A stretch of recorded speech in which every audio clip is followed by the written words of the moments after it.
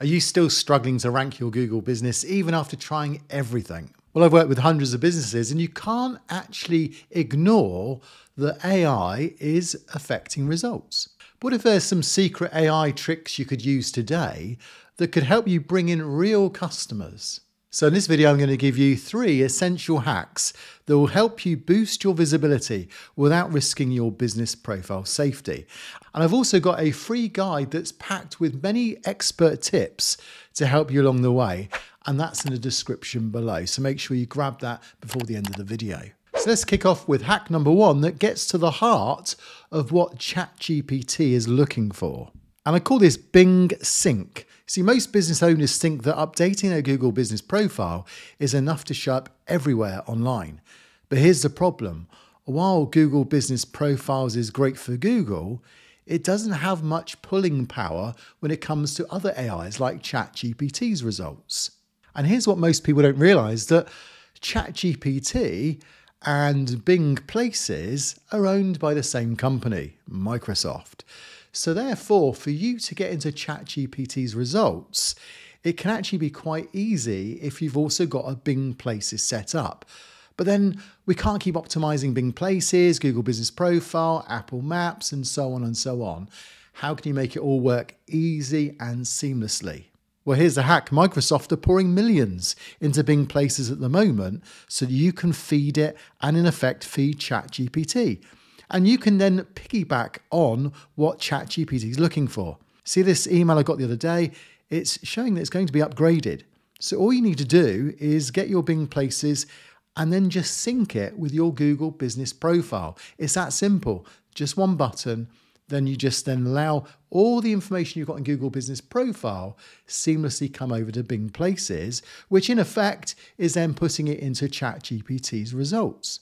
And that will boost your visibility, your trust in ChatGPT, but it also means that everything's kept consistent, which is essential for building trust. So just head to Bing Places, click Sync with Google Business Profile, and then let it do its work. It will then continue to sync as you update your Google Business Profile. In effect, you're also updating Bing, and in effect, that's updating AI results such as ChatGPT.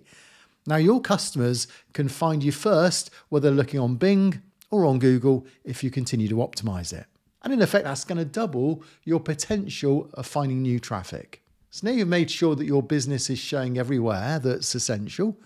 Let's talk about getting the right people to actually find you local, high quality customers. So that brings us on to hack number two, which is to be answerable. But here's what most people don't really understand is AI isn't about just providing links like a search engine. It's about answering customers' questions. It's about finding answers to the questions that your customers are asking.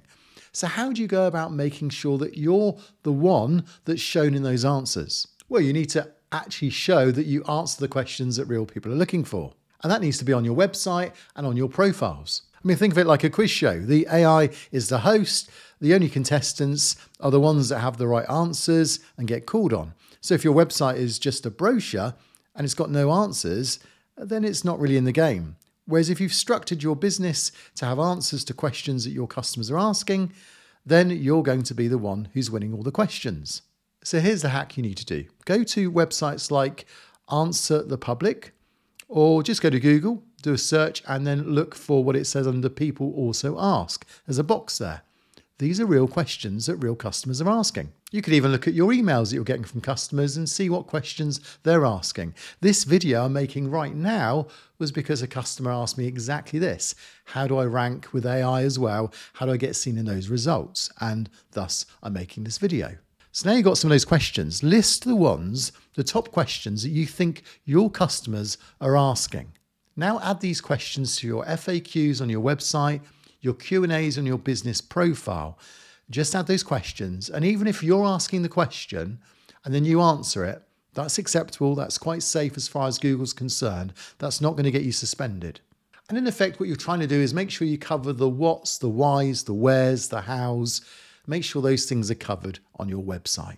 And that's how you go from being just not another website, but a business that answers real questions that AI can use to then suggest this is the business that can help you. So now customers can find you through AI. Here's the next challenge. How do you make sure that they remember you? Of course, when customers find you, they may not be ready to buy, but you want them to remember your brand so they can come back to you when they are ready to buy. So, how do you do that? Well, here's where hack number three comes in. But before we discover that, don't forget to download that guide I mentioned earlier. It's in the description below. Right, so let's move on to hack number three. And this is going to help you get customers keep being sent your way when they're ready to buy. And I call this get attributions. So, when a potential customer comes across your business through AI or through search results or through Google Maps or through voice search, the chances are they still need to think on things. So, we need to get your brand name in their head. How do we do that? Well, if AI tools can easily recognize and attribute your content, you become the trusted source that keeps getting recommended. The more customers that go your way, and associate you with the service they're after or the products they're after, the more likely that that pleases the algorithms and therefore you get suggested again and again. Think of it like being quoted in the news. If you're the expert everyone references, your reputation starts to skyrocket. So here's the hack make it super easy for AI to discover you and to reference your brand's name. Now, how do you do that? Well, use clear headings, use bullet points, and make it clear that the products and the services and the tips you offer are associated with your brand name. So instead of saying Google Business Profile Tips, as I could mention in this video, I can say it's Zanet Designs Google Business Profile Tips. And that being in the header is then going to recognize that certain brands go with certain types of products. Now, most people skip this, but actually, it's really powerful for AI to have this association. The thing is AI can't guess that a business is associated with some keywords. It has to see it for itself, and you have to provide that. So try this add your brand name to your tips, to your FAQs, to your products. Do it wherever you can and it makes sense. Use it consistently, use it on bullet points, use it on titles. You want to be the go to name or brand in your niche so that people refer to it. You think of Google, we don't talk about searching for something, we talk about Googling it.